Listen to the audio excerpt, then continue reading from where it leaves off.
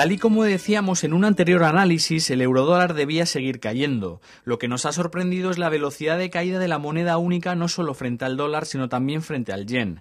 El temor confirmado día a día de una recaída en la recesión en la zona euro mientras Estados Unidos se aleja de este escenario hace perder enteros al euro en términos relativos.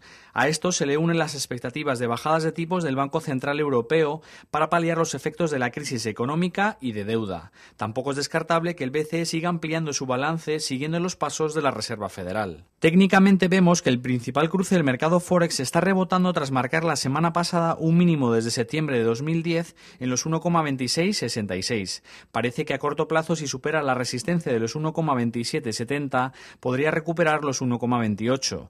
Lo normal sería que el precio consolidase posiciones y se moviese de forma lateral de cara a la reunión del próximo jueves del BCE en la que el consenso apuesta a que van a mantener los tipos en el 1%. Al analizar los osciladores vemos que tanto el estocástico como el índice de fuerza relativa están rebotando desde la banda de sobreventa. También debemos destacar la lejanía del precio de las principales medias móviles, las de 50, 100 y 200 sesiones. A su vez, el precio sigue cerca de la parte baja de las bandas de Bollinger. La estrategia a corto plazo pasa por esperar un posible pullback a la zona de los 1.30. Si se da el traste con este escenario, el primer objetivo bajista estaría situado en los aludidos 1,2666. Mientras no pierda este punto, vemos poco factible el ataque al soporte psicológico de los 1.25.